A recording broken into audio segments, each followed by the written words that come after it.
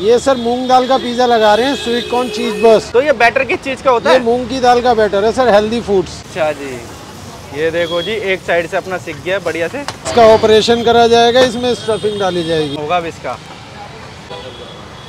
इसके अंदर onion capsicum carat ये आ गई आपके लिए मोजरेला चीज़ और उसके बाद ये आ गए आपके लिए स्वीट कॉर्न चाहिए लोकल चीज़ नहीं खिलानी चाहिए इंसान। तो दुनिया खिलाई रही है। हाँ दुन- क्या जा रही है?